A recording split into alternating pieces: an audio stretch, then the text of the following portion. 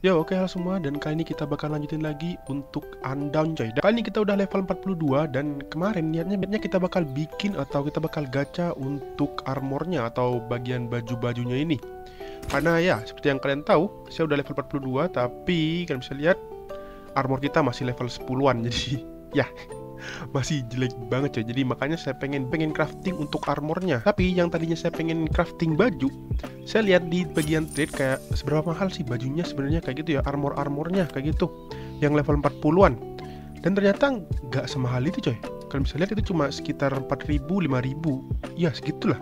Dan saya juga mikir kayak 5000 dapat goldnya seberapa susah kayak gitu ya. Dan setelah saya coba-coba ternyata nggak sesusah itu coy. Asli. Dan ya gold kita terakhir itu cuma sekitar 5 ribuan. Karena kemarin kita waktu ngegacha weapon kita jual weapon kita nih yang HK 416 coy. Seharga 5 ribuan 5 ribu gold. Jadi ya itu doang yang saya punya kayak gitu. 5 ribu gold itu doang.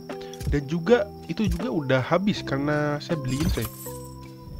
Store gold dan ini equipment crafting crate yang kayaknya nih uh, weekly limitnya kayaknya kalau nggak salah 10 ya 10 biji dan harganya 500 jadi 5000 kayak gitu. Jadi udah habis dibuat beli equipment crafting ini. Cuman setelah saya cari-cari dan coba buat farming gold dan ternyata nggak sesusah itu. Ini dapetin sekitar 16.000 gold ini sekitar mungkin saya farming satu dua jam lah kayak gitu mentok-mentok ya. Paling banyak kayaknya dua jam cek. Saya farming sama ngejual-jualnya ya. Itu paling lama dua jam dan itu saya dapat 16.000 jadi iya cepat banget.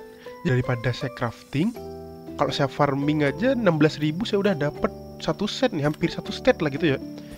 Saya udah dapat kepala uh, clothes-nya juga sekitar 5000 jadi ya saya dapat tiga ini coy tiga piece. Saya udah dapat kepala baju dan celana. Jadi iya saya nggak perlu crafting kayak gitu ya. Dengan cara dapetin gold yang nggak terlalu susah menurut saya untuk awal-awal ini. Jadi apa aja yang saya jual untuk dapetin gold yaitu ini coy kalau kalian lihat di treasury-nya itu pyririn yang ini.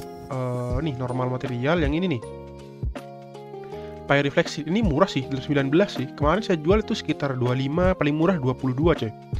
Ini ada yang ngejual 19 100 biji. Jadi ya ini murah banget sih. Dan kalian bisa dapetin flexit ini dengan gampang coy. Itu ada tempatnya yang bisa ngasilin banyak banget flexit ini. Ini karena tempatnya kumpul-kumpul. Dan setiap satu pohon atau ya, satu pohon gitu itu dapetin sekitar dua flexit dan kadang bisa dapat sampai 5 satu pohon. Jadi ya satu pohon udah bisa ngasilin 100 gold. Kayak gitu jadi cepet banget sih saya farmingnya. Jadi kalian bisa cari itu di central plains di bagian sini. Central plains dan di sini nih. Kita coba langsung ke sana aja Oke, sekarang kita udah di Central Plain nih. Kita udah di Central Plain dan tujuan kita adalah di sini, coy. Di sekitar ini, ini banyak banget untuk flagshipnya itu. Sebenarnya sih ada di dua tempat, di sini dan di sini. Cuman kalau untuk di sini, dia banyak ininya pokoknya dia banyak bunga-bunga putihnya dan flagship bunganya warna putih. Jadi itu bakal nyaru banget coy sama apa ya sama daerahnya atau sama trainnya gitu ya. Itu nyaru banget. Jadi kita coba langsung ke sana aja. Oke ini udah hampir sampai dan kalian bisa lihat tuh di map. Kalian bisa lihat di mapnya nih ya. Dia udah di bagian sini aja di map ini udah ada 5 biji. Jadi ya kayak gitu kita lanjut lagi nih ke sana. Dan juga karena di sini bunga-bunganya warna ungu jadi gampang banget buat ngelihatnya tuh di sana ada flexit lagi tuh. Jadi kayak gitu. Untuk di sini gampang banget nyarinya juga karena pertama banyak dan kedua di sini tempatnya apa ya kayak uh, trainnya atau daerahnya itu warna-warna ungu kayak gini. Jadi bener-bener gampang buat nyari flexitnya tuh. Kalian bisa lihat di atas tuh di mapnya dia banyak banget kan tuh flexit semua. Dan selain flexit di sini juga gampang buat cari apa namanya uh, meat atau buat ngehan ngehan kayak apa namanya binatang-binatang gitu coy. Dan kalau kalian ke atas terus nih sama aja sebenarnya sama-sama banyak di bagian sini dan sini. Cuman di bagian sini nih ntar dia bakal banyak banget ntar kita bunuh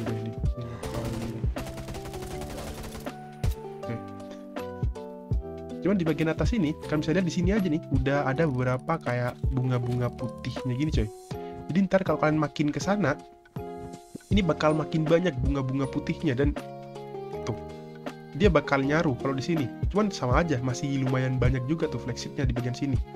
Cuman kalau kalian cari yang paling banyak sih di bagian sana. Di bagian sini nih ya, kalau di mapnya nih, di sini bakal banyak banget flagship, bukan cuma flagship, dia banyak banget untuk uh, monster juga, bukan monster sih. Kayak hewan-hewan yang bisa kalian hunt kayak gitu buat makanan ya, karena waktu kalian ngegather itu bakal ngabisin banyak banget makanan coy. Kayak gitu. Ngebuat kalian cepet banget uh, hungernya habis kayak gitu ya. Jadi kayak gitu. Dan juga kalau kalian gak mau farming flexit sih ini cara yang paling cepat sih sebenarnya sih. Nih ini flexit kita coba gather. Dapat berapa flexit tuh dua flexit oke. Okay. kita jalan lagi nih sini ada lagi nih. Jadi ngumpul-ngumpul banget coy tempat flexitnya untuk di bagian sini. Berapa? 5 5 2 oke dua lagi. Berapa ini dua kali dua gitu udah setara dengan berapa ya? 40 gold. Dua kali ngambil kayak gini udah 20 gold coy. Eh dua udah 40 gold. Ini dapat dua oke 60 gold kayak gitu. di sini nih ada lagi nih. Jadi carinya dari jauh itu gampang banget karena apa namanya kayak trainnya atau daerahnya ini dipenuhi sama bunga-bunga ungu. Yang mana tuh warnanya beda banget sama si flagshipnya jadi dari jauh udah kelihatan. Jadi selain kayak saya jual material-material mentah kayak gitu kalian juga bisa langsung jual material-material jadi coy. Dan yang paling mahal itu ini untuk sekarang material jadi. Kalau ini kalau kalian males sih ya kalau kalian males buat gatheringnya dan sebenarnya gatheringnya cepet banget kayak gitu. Itu gampang banget dan cepet banget dan ngumpul-ngumpul semua. Jadi gatheringnya cepet banget sebenarnya buat ngumpul-ngumpulinnya buat ngumpulin-ngumpulin atau farming goldnya ini mungkin saya bakal coba ntar. Kayak seberapa cepat atau seberapa banyak gold yang saya hasilin coy habis ini. Jadi selain kayak normal material yang kayak gini kayak gini flexit flexit ini itu ada juga yang mahal coy. Yaitu kan bisa bikin ini juga unfinished goods kalian pencet aja dan yang paling mahal itu yang bagian ini leather normal leather. Ini udah drop banget harganya ke 220 kita lihat yang jual 220 ada berapa? Yang jual normal leather 13 biji harganya 220 ini udah murah banget sebenarnya karena kemarin saya jualin normal leather nih kan bisa lihat 244 sama bahkan 275 itu mahal banget menurut saya 275 coy. Harganya buat jual si normal leather ini. Dan bahan untuk jual normal leather ini tuh murah banget. Jadi kalau kalian mau nih ya dan kalian males buat nyari kalian bisa jual normal leather itu coy. Cuman ya kelemahannya sih kalau kalian jualnya terlalu banyak ya harganya bakal drop kayak barusan tuh. Udah turun ke 220 kayak gitu ya. Sedangkan kalau material mentah itu bakal susah dropnya ya. Drop bentar ntar naik lagi kayak gitu ya. Kalau material mentah karena dibutuhin di mana-mana. Kalau material yang udah setengah jadi kayak gini uh, dibutuhin di mana-mana tapi udah makin sedikit kayak gitu dibutuhin di mana-mananya kayak gitu coy. Jadi nih costnya ya saya bakal hitung nih kalau yang bagian atas nih nggak usah dihitung sih sebenarnya sih. Kalau saya gitu. Karena ini kalau kalian beli mahal dan nih meat dia kalau kalian beli mahal dan kalau dicari gampang banget. Kalau kalian mau cari meat itu gampang banget. Ini kayak serasa ini loh. Serasa kayu kayak gitu nih sampai 3 ribuan. Jadi ini nggak usah dihitung menurut saya untuk yang paling-paling atas ini. Kalau untuk modalnya karena gampang banget dicarinya. Jadi untuk normal leather pertama butuh periflexit dia butuh 4 biji periflexit kita hitung dengan harga yang sekarang coy periflexit dia 19 kita hitung harga 20 aja lah biar lebih mahal kayak gitu ya. Soalnya harga biasanya 20-an coy. Kalau dapat di 19 ya untung kayak gitu. Tapi harga biasanya 20-an kita hitung 20 berarti 20 20 kali 4 karena butuhnya 4 dia butuh 80 80 gold di sini dan untuk small headnya dia butuh 5 biji. Dan small head harganya 11 doang kali 5 55 jadi 80 55 udah air reflexit dia harganya berapa? 10 doang. 10 gold. Tambah 10 gold. Oke okay. jadi berapa tuh? 80 55 itu udah 135 ya. 135 tambah 10 145 145 tambah animal sinu animal sinu yaitu animal sinu 3 biji. 30 berarti jadi sekitar 175 coy. Jadi modalnya 175 untuk bikin normal leather. Itu kalau kalian beli semua nih dia bakal butuh modalnya sekitar 175 pajaknya kalau kalian jual di trading post itu nggak sampai 10% nih udah naik lagi nih normal leather. Udah harga normalnya 247 itu kalau dipotong pajaknya itu nggak sampai 10% tapi kita hitung 10% jadi sekitar 25 kita potong 25 nih.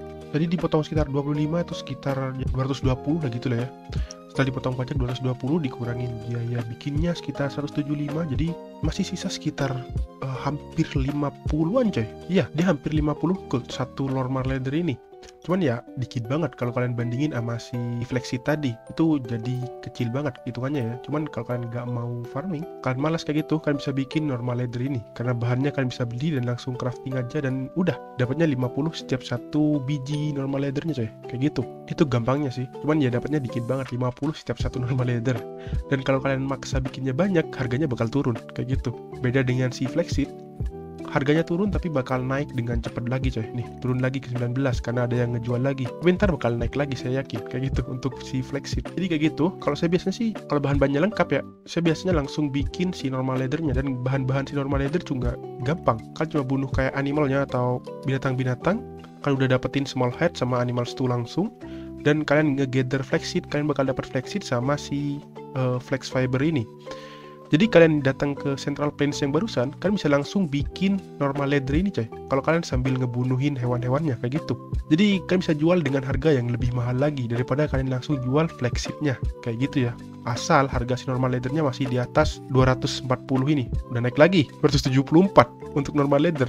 Asli cepat banget untuk normal leather naiknya loh. Tuh.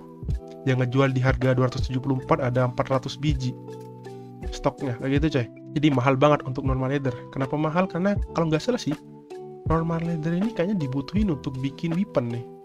Dia butuh weapon dia dibutuhin coy. Kalau kalian mau bikin weapon dan kayaknya kalau bikin ini ada juga nggak? Nah ini juga nih. Dia juga dibutuhin kalau mau bikin kayak baju baju-baju juga. Dibutuhin di untuk craft weapon dan dibutuhin untuk craft armornya kayak gitu. Jadi kayak gitu aja. Kalau kalian mau cari gold dengan cepat sih menurut saya sih. Kalau saya biasanya kayak gini coy. Kalau saya mau cari gold dan gampang banget dalam satu jam kalian udah dapetin sekitar 6 ribuan lah gitu. Ini kalian bisa langsung lanjut cari lagi sambil kalian taruh-taruhin flexitnya ke sale kayak gitu ke trading postnya. Jadi kalian sambil nyari sambil taruh si flexitnya ini kayak gitu. Karena kalau di jam-jam kayak apa namanya ya, di jam-jam mahalnya atau di jam-jam kayak sibuknya gitu banyak yang online ini flexit bakal cepet banget lakunya ini sekarang nih masih turun nih sampai ke 17 sekarang. Tapi ntar bakal naik lagi saya yakin ke 21 lagi kayak gitu. Karena cepet banget habis tapi cepet banget turun juga. Kayak gitu karena banyak banget yang cari. Kayak gitu ceh. Jadi kayaknya segitu aja untuk video kali ini. Jangan lupa like, comment, dan subscribe. Dan sampai jumpa di video selanjutnya. Terima kasih. Itu cara buat dapetin gold. Dan mungkin ntar nih karena banyak yang cari juga ya ini bakal drop. Jadi kita harus pindah ke item lain kayaknya untuk cari gold kayak gitu